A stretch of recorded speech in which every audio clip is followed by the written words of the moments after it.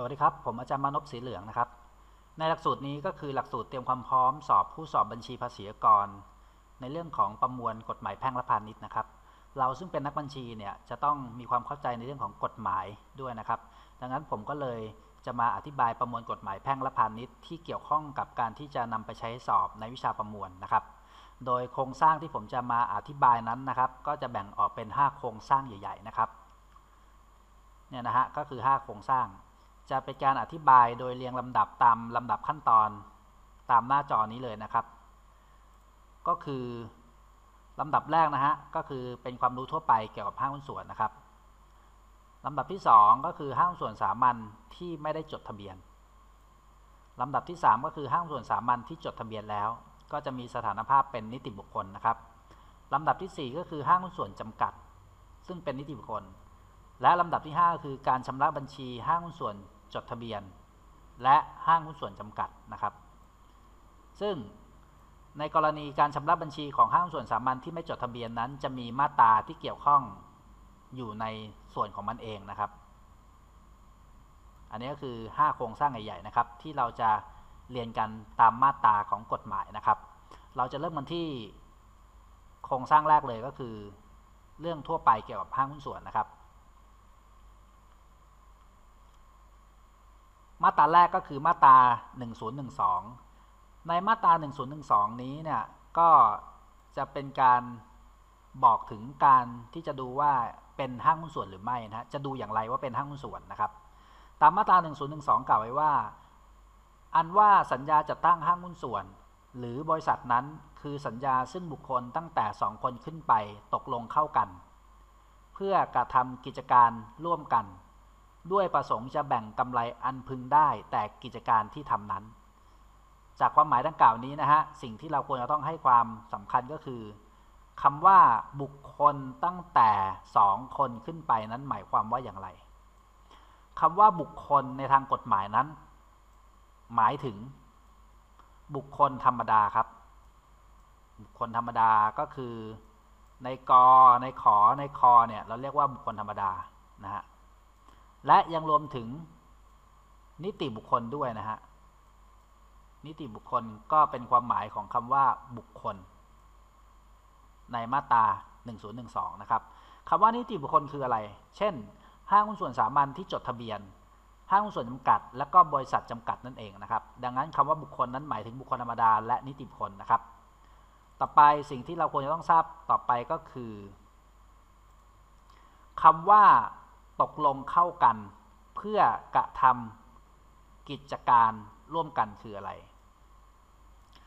คำว่าตกลงเข้ากันก็คือการที่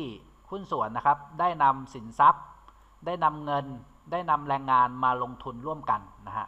เขาเรียกว่าตกลงเข้ากันนะครับ และเพื่อกระทำกิจการร่วมกันคำว่าทำกิจการร่วมกันก็คือ ต้องอยู่ในกิจการเดียวกัน นะฮะต้องอยู่ในกิจการเดียวกัน ร่วมหัวจมท้ายกันในการทำกิจการนั้นนะฮะ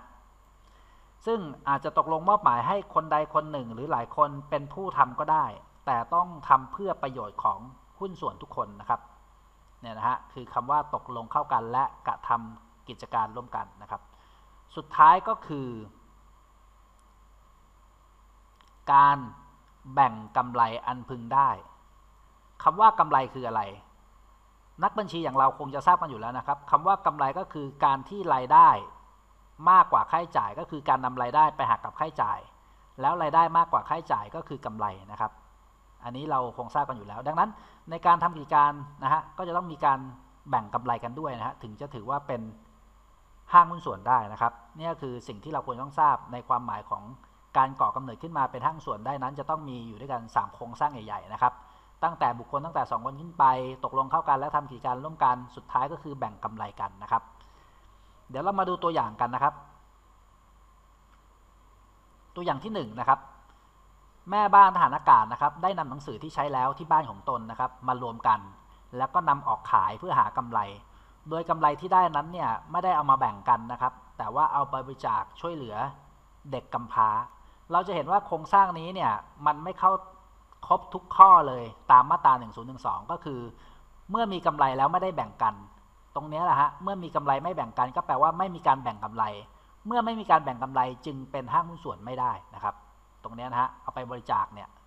เป็นปัญหาเลยเพราะว่าไม่ได้มีการแบ่งกำไรกัน แต่เอาไปช่วยเหลือทางการกุศลประโยชน์สาธารณะทั้งนี้ก็จะไม่ใช่เป็นห้างหุ้นส่วนแล้วนะครับ ตัวอย่างที่ 2 ในกอมีสนามบอลนะฮะก็มีหน้าที่ดูแลสนามบอลให้มีสภาพพร้อมใช้งาน ส่วนในขอนั้นมีหน้าที่จัดหาลูกค้ามาเช่าสนามบอลนะฮะเมื่อมีรายได้เกิดขึ้นนั้น ทั้งสองก็จะแบ่งกันคนละครึ่ง จะแบ่งกัน โดยค่าใช้จ่ายที่เกิดขึ้นในแต่ละส่วนของแต่ละคนนั้นก็ต่างคนต่างออกไปไม่ได้เกี่ยวข้องกันนะครับ เราจะเห็นว่าเขาดำเนินงานมาแล้วเนี่ยเขาแบ่งผลรายได้ครับ ตรงนี้นะฮะเขาเอารายได้มาแบ่งกัน ไม่ใช่กำไร เพราะว่าค่าใช้จ่ายของแต่ละคนนั้นต่างคนต่างออก ดังนั้นก็เลยไม่มีตัวค่าใช้จ่ายมาหักตัวรายได้ค่าเช่าสนามนะฮะเขาแบ่งรายได้กัน ก็คือแบ่งรายได้ค่าเช่าสนาม ให้กันคนละครึ่งนะฮะดังนั้นเมื่อเป็นการแบ่งรายได้ไม่ได้เป็นการแบ่งกำไร จึงไม่ถือว่าเป็นห้างหุ้นส่วนนะครับ ต่อไปนะครับนายแดงและนายดำลงทุนซื้อที่ดินร่วมกัน และนำที่ดินที่ได้รับนั้นมาแบ่งกัน จากข้อตรงนี้เนี่ยก็ไม่ได้มีการ กิจการร่วมกันเลยนะฮะไม่มีกิจการร่วมกัน ไม่มีการแบ่งกำไรจากกิจการนั้นนะครับ ดังนั้นก็ไม่ถือเป็นห้างหุ้นส่วน การจะถือเป็นห้างหุ้นส่วนได้นั้นเนี่ยก็ควรอะไรครับ ต้องควรที่จะต้องมีโครงสร้างก็คือมีบุคคลตั้งแต่ 2 คนขึ้นไป ตกลงเข้ากันและกระทำกิจการร่วมกันสุดท้ายก็คือมีการแบ่งกำไรนะครับ ถ้าไม่เข้าตามองค์ประกอบทั้ง 3 ข้อใหญ่ๆ ในมาตรา 1012 นั้น ก็ไม่ถือว่าเป็นห้างหุ้นส่วนนะครับ คราวนี้ผมอาจจะมีเพิ่มเติมมาให้ว่า ถ้าในสัญญาการจัดตั้งห้างส่วนนั้นเนี่ยได้ระบุไว้ว่า ถ้ามีผลขาดทุนจะแบ่งผลขาดทุนในอัตราเท่านั้นเท่านี้ แต่ไม่ได้ระบุว่าจะมีการแบ่งกำไรเท่าไหร่ ตรงนี้เนี่ยก็จะถือว่าไม่เป็นห้างส่วนนะครับ เพราะว่าระบุแค่เพียงแบ่งขาดทุนแต่ไม่ได้ระบุกำไรนะครับ อันนี้ก็จะผ่านไปนะครับสำหรับมาตรา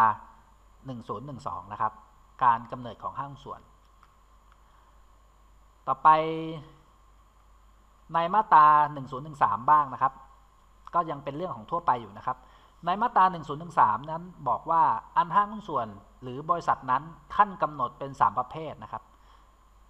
ตรงนี้คือ 3 ประเภทในประมวลกฎหมายแพ่งและพาณิชย์นะครับ ก็คือประเภทที่ 1 ห้างส่วนสามัญคำว่าห้างส่วนสามัญนนั้นหมายถึงห้างส่วนสามัญที่ไม่ได้จดทะเบียนและที่จดทะเบียนนะครับ ต่อไป 2 ห้างส่วนจำกัด และ 3 บริษัทจำกัด อันนี้ก็คือตามความหมายในมาตรา 1013 นะครับ แต่ถ้าเกิดเราไปเจอข้อสอบแล้วเขาถามว่า ห้างหุ้นส่วนตามมาตรา 1013 มีกี่ประเภท ถ้าเกิดเขาถามแค่เพียงห้างหุ้นส่วนตามมาตรา 1013 นะครับ เราต้องตอบว่ามีแค่เพียง 2 ประเภทเท่านั้น ก็คือห้างหุ้นส่วนสามัญที่ไม่จดทะเบียน กับห้างหุ้นส่วนสามัญที่จดทะเบียน และห้างหุ้นส่วนจำกัด เราต้องตอบ 2 ประเภทนะฮะ เพราะว่าถ้าเป็น 3 ประเภทนั้นจะต้องตามมาตรา 1013 ที่ไม่ได้ระบุว่าเป็นห้างส่วน แต่ถ้าเกิดระบุว่าเป็นห้างส่วนนั้น จะต้องบอกว่าห้างส่วนนั้น มีแค่เพียง 2 ประเภทเท่านั้นนะครับ